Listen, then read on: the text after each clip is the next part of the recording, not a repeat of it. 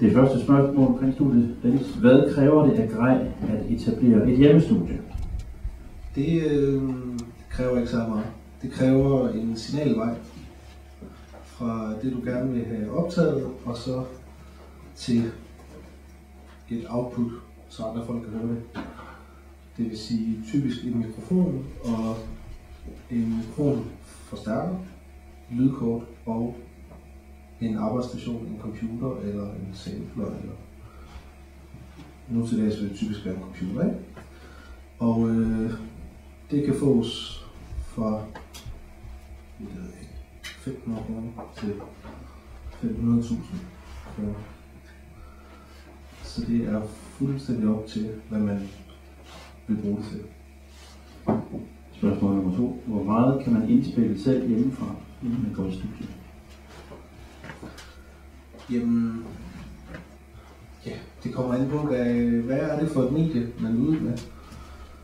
Hvis du vil lave en high-end plade, som lyder rigtig dyrt og dynamisk og lækkert, så, har, så er du afhængig af nogle, noget godt hardware, nogle gode maskiner, nogle gode mikrofoner. Men en god plade er ligesom summen af det hele. Det vil sige, at du kan godt måske optage trommer i et rigtig dyrt studie, men samtidig komme med 500 MIDI-filer eller analog keyboard-filer, hvad ved jeg, og optaget derhjemme, uden at det vil degradere øh, det samlede indtryk på nogen måde.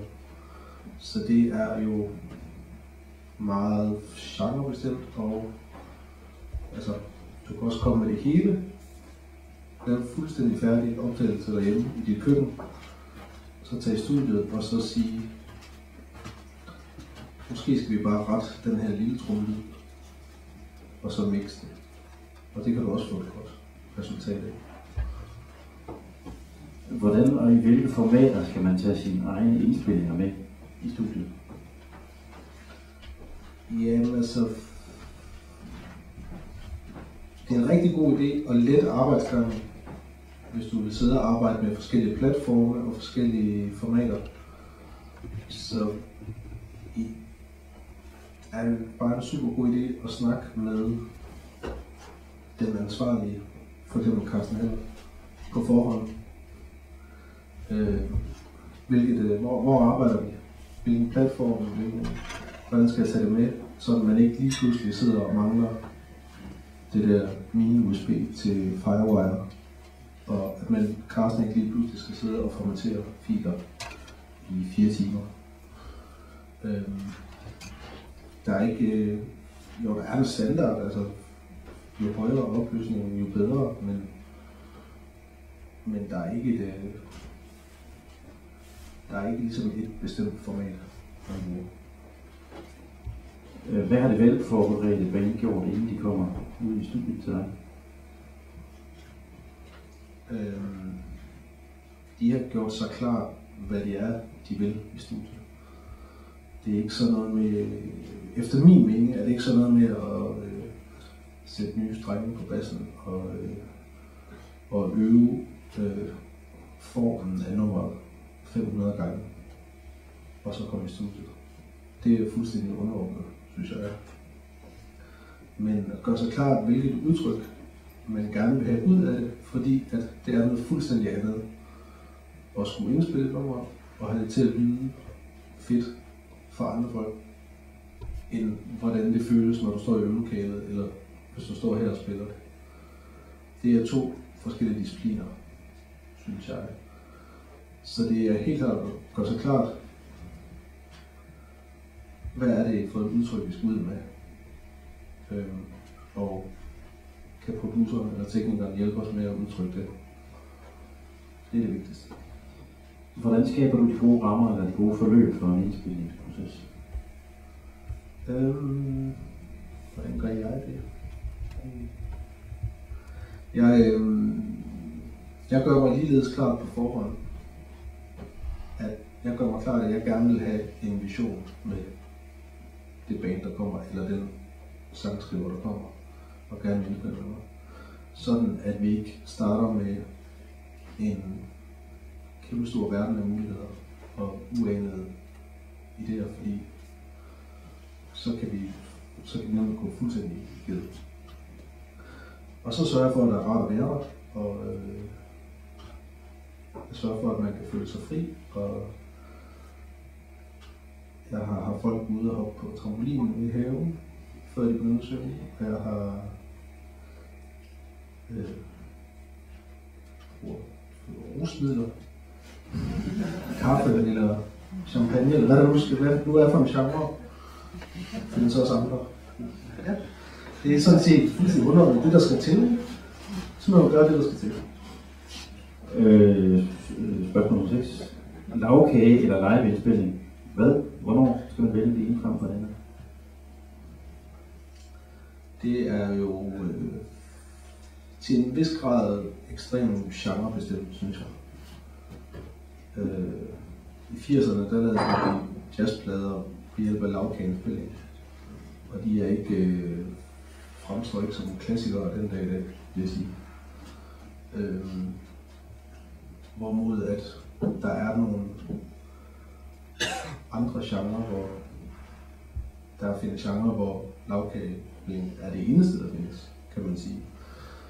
Øhm, øh, e- elektroniske genre og de hybrider, der er over mod analog musik, hvor det ligesom er det, der kan gøre, at du kan skabe et udtryk, som har så mange kontraster. Hvis du gerne vil have en sangerinde, der synger meget lavt, og et tromsæt, der spiller meget højt, så er det ikke sikkert, at det er det allermest oplagte, at de skal indføre samtidig. Heller ikke selvom de er i hver deres sprog. Hvornår er det foretrækket at indspille analogt frem for digitalt? Øh, det er at foretrække at indspille, altså lad os nu sige, at de fleste indspiller digitalt. Går ud fra, at det, det er de har mulighed for. Så det, det er at foretrække at indspille analogt, hvis du har en helt klar vision med det. Med den øh, ekstra energi, du skal bruge på det, det penge, du skal bruge på det. Det er dyrt at indspille på bånd, og den ekstra tid, det tager, og de muligheder, du ikke får ud af det. Alle de faktorer til sammen kan jo rent faktisk gøre, at du kan skabe noget. For eksempel hvis du nu, lad os sige, du skulle lave en trio jazzplade. Hvis du havde penge til det, ville jeg da helt klart anbefale, at du gjorde det. Men øh, det er, det er jo meget, især nu til dags, altså jeg vil sige, at du kan helt klart vinde noget ved det, som du umuligt kan fake på digitale medier. Men øh, altså, ja, det er ikke praktisk. Det er det. Hvad er din favoriteffekt, og hvorfor? øhm, det er ligesom en favoritplade, ikke? Det kommer og går. Lige nu så er min favoriteffekt, det er øh, noget, jeg kalder den onde fætter. Og den findes i mange afskygninger. Men øh, lad os nu sige, at du har et, øh, et guitarspor, og det hænger lidt herovre øh, til højre. Så vil jeg helt langt over til venstre have det samme guitarspor i en anden afskygning, en ond variant. Måske pitch det en oktav ned, eller forsink det, eller distorter det, eller pitch det en kvint ned, eller en oktav op. Og det kan man gøre med de fleste lydkilder. Øhm, det, bruger, det benytter mig rigtig meget af. Kan man i studieprocessen forvente noget skidt til noget godt? Ja, det kan man for eksempel som Carsten, hvis man går ind tidligt i processen og siger, før nummeret er færdigt, altså, nej, ikke hvis det er et helt forfærdeligt nummer, så er der ikke noget at gøre. Men det kan godt være, at der måske var optræk til noget, men det de var kommet frem til, var ikke sådan helt fantastisk.